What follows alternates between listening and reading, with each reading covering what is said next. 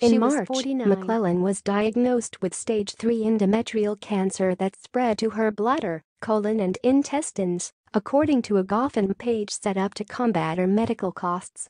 USA Today has reached out to Aguilera's representatives for comment. She also sang Beautiful, a duet with Aguilera. Contestant Javier Colon went on to win the show. My dear friend and fellow S1 at Nkthevis alum, at Beverly has died. He tweeted Tuesday. Truly a unique soul with a beautiful heart, full of passion and an amazing talent. I am absolutely heartbroken.